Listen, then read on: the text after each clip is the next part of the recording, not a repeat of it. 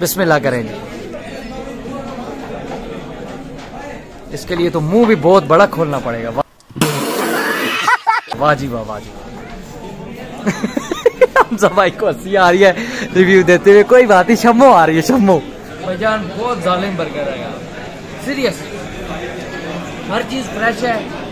Beef का एक अलग टेस्ट आ रहा है।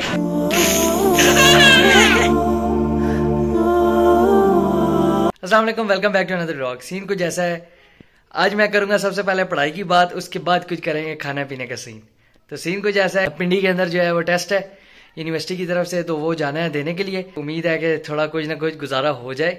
थोड़ी बहुत ही तैयारी भी की हुई है। आप देखते हैं कि क्या सीन होता है। टेस्ट के अंदर मोबाइल अलाउ नहीं है। क्योंकि यार उन्हें भरोसा नहीं है ना। कि चिटिंग वगैरह भी हो सकती है तो वैसे उनकी बात भी सही है। जो टेस्ट है, वो है शाम के छह बजे। काफ़ी ज़्यादा टाइम लग सकता है तो मैं साढ़े तीन बजे ही निकल रहा हूँ। अगर आप चैनल पे नए हैं तो लाइक कर दें शेयर कर दें सब्सक्राइब कर दें।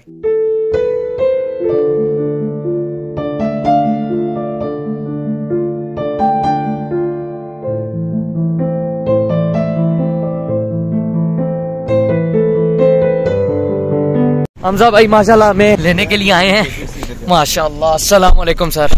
सर कैसे हैं? ठीक हैं? टेस्ट की तैयारी हमजा भाई की फुल। मैं तो आ रहा हूँ फार्म से। मैं भी एक फार्म हाउस से ही आ रहा हूँ। यार पाँच छब्बीस हो गए हैं और शान के मैप पे बिल्कुल रेड बता रहा है फुल ट्रैफ़िक जो है आगे ब्लॉक है। और अब अल्लाह ही खैर करे छः बजे टेस्ट है। हाँ। नहीं अल्लाह करे आगे बस रेड खत्म हो गया ट्रैफ़िक तो लॉस हो गई ये टेस्ट वगैरह दे दिया है। अभी यार ये सीन है कि कुछ खाने का जो है ना, भूख वगैरह बहुत टाइट लग गई है। आप लोगों को यार, मेरे से ज़्यादा बेहतर पता है कि जिनके पेपर्स होते हैं ना, जब उनके पेपर्स स्टार्ट होते हैं तो उनकी भूख मर जाती है, लेकिन जिस दिन आखिरी पेपर होते हैं ना, उस दिन सारी भूख जो है ना, बस उसी दिन दिल करता है कि सब कुछ जो है ना खा ले। तो same as it is taste का भी यही सीन है कि टेस्ट आपका नहीं, अब जब तक हुआ ना तो आपको टेंशन है कि क्या होगा। तो उससे पहले भूख नहीं लगती। जब टेस्ट एंड हो जाता है, उसके बाद भाईजान जो भी हुआ है ना, कुछ खाना तो है। तो अब यही सीन है कि चलते हैं, देखते हैं किस जगह पे खाना खाना है। बाकी यार एक चीज़ मैंने आप लोगों को बतानी थी, जो मैं टेस्ट के अंदर भी सोच रहा था। जब मैं घर से आया हूँ तो मेरे साथ जो आईएस के अंदर भाई बैठे हुए थे, वो थे पठान। एक पहली बात अगर मैं आपको बताऊँ तो मुझे ना नफरत है ये ड्रग्स वगैरह से। मेरे साथ ना निस्वार खा रहा था, और इतनी गंदी यार स्मेल थी कि मैं बता भी नहीं सकता। भाईजान मेरी तो तोबा आंदा मतलब एक प्राइवेट की यार ये चीज़ भी होती है। मतलब हम होता है ना कि यार थोड़ा सा बंदा एक दूसरे को मेंटेन दूसरे का ख्याल करता है। अब जैसे स्मोकिंग है मेरे ख्याल से तो हर किसी को जो है ना इससे वो अवॉइड करना चाहिए कि नहीं करना चाहिए। और दूसरा, अगर चलो कर रहा है तो बाकियों का ख्याल करे, क्योंकि उसको पता नहीं कैसा लग रहा है, वो ये बर्दाश्त कर भी सकता है। मैं अगर आपको बताऊँ तो मेरी इन चीज़ों से ना सर के अंदर दर्द हो जाती है, जबकि मैं राह इन्हीं के अंदर ही हूँ। मैं अगर आपको बताऊँ तो मेरा जो कॉलेज था कॉलेज टाइम उसके अंदर बहुत हमारी क्लास के अंदर ये चीज़ें थी। लेकिन, बस ये है कि मैं इसमें अल्लाह का शुक्र है कि यार इसके अंदर नहीं पड़ा और शुक्र है नहीं पड़ा, क्योंकि इसकी इतनी गंदी स्मेल थी ना भाई, वो पता नहीं डालते कैसे हैं, ये तो एक अलग बात है। पता नहीं, सोच के ही बंदे का कुछ होता है। तो सब दोस्तों को कहूँगा कि भैजन इसके अंदर ना पढ़ो इसके अंदर जो है ना मसले ही बनते हैं, ठीक है? बाद में कोई किसी का क्या मसला बन रहा होता है, किसी का क्या मसला बन रहा होता है, इन्हीं से जो बाकी साथ होते हैं, उनको भी बीमारियाँ लगती हैं तो मेरे ख्याल से तो अवॉइड करना चाहिए। अगर आप लोगों को लगता है कि मैं ये सही कह रहा हूँ तो ठीक है अदरवाइज़ हमजा भाई, सदर आप ले आए हैं तो आज क्या जो है वो खाने जा रहे हैं? आफ्टर टेस्ट हम लोग जा रहे हैं रेंचर्स रेंचर्स बीफ बर्गर और बर्गर बच्चे बन जाएँगे फिर। गुड चलें चेक करते हैं क्या सीन होता है। माशाल्लाह रश भी काफ़ी है। हाँ जी शान भाई आपका क्या इरादा है कि की ज़रूरत नहीं ज़्यादा यही आप जो खिला देंगे मैं खा लूँ ये चीज़। यार ये ना इधर ये अभी गाड़ी खोल इसको उतार दें शान को। समझ रहे हो? समझ रहे हो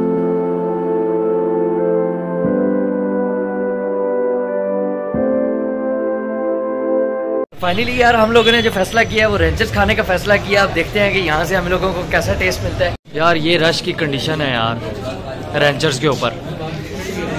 लाइन के अंदर लगे हुए आप देखते हैं कब तक टाइम आता है। हमजा भाई, वाह जी वाह, क्या बात है। ऑर्डर कंप्लीट हो चुका है हमारा। तकरीबन पंद्रह बीस मिनट में आ जाएगा, उन्होंने कहा है। वाह जी वाह। क्रंच मंगवा लिया ये लिखा हुआ है गुड इलाज ईट हेयर अच्छे बच्चे यहाँ पे खाना खाते हैं। अच्छे बच्चे यहाँ पे खाना खाते वेरी गुड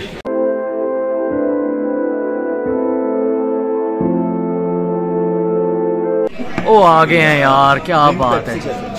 क्या बात है यार हमजा भाई। थैंक्स हमजा भाई। निकलेगा नहीं इसी तरह ऊपर छिक के लगानी है आपने। प्यार से प्यार से। शान भाई का। चलें जी, हमजा भाई। गरम गरम ही ट्राई करेंगे। इतना बड़ा आप पता नहीं खा कैसे पाएँगे, एक तो ये भी देखना, क्योंकि मैंने आपसे ही सीखना है कि कैसे खाएँगे आप। बिस्मिल्लाह करें जी। इसके लिए तो मुँह भी बहुत बड़ा खोलना पड़ेगा। वाह जी, वाह वाह हमजा भाई को हँसी आ रही है रिव्यू देते हुए। कोई बात नहीं, शम्मो आ रही है, शम्मो। अभी खा ले, उसके बाद इजी होके दे पहले ही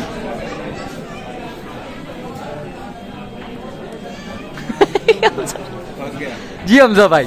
यार बहुत अच्छा बीफ बहुत टेंडर वो full fresh full fresh very good ये आ गया जी हमारे फ्राइज जजाक अल्लाह सर शान भाई। मेरा भी बड़ा मज़ा गया। मैंने खा लिया रिश्ता। चेक करके बताया। आय हाय चेक करते हैं यार ये एक तो मुझे बहुत सिस्टम खोलना पड़ेगा अपने। बिस्मिल्लाह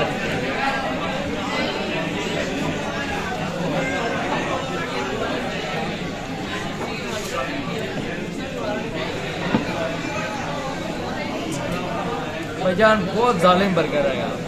सीरियस हर चीज़ फ्रेश है। बीफ का एक अलग टेस्ट और है।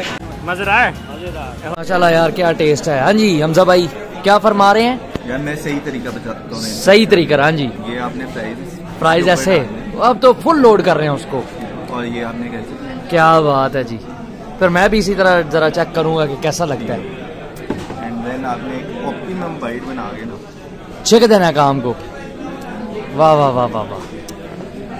लेवल अब मेरी बारी है यार। ये हमजा भाई के कहने पे जी प्राइस डालें और कैचअप और आप चेक करते हैं कि ये कैसा इसका टेस्ट बनता है।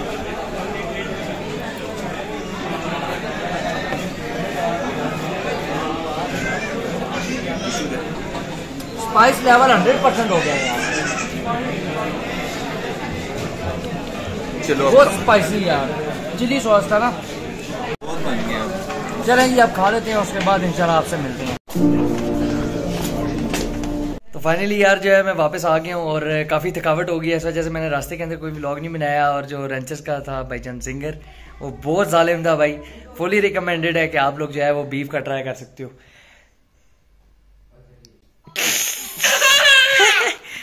तो यार ये सीन है, अगर आप लोगों को व्लॉग अच्छा लगा है तो लाइक कर दें शेयर कर दें और सब्सक्राइब कर दें। मिलते हैं आपसे नेक्स्ट व्लॉग में, तब तक के लिए अल्लाह हाफिज़। बोलो अल्लाह हाफिज़। अल्लाह हाफिज़ यार। गुड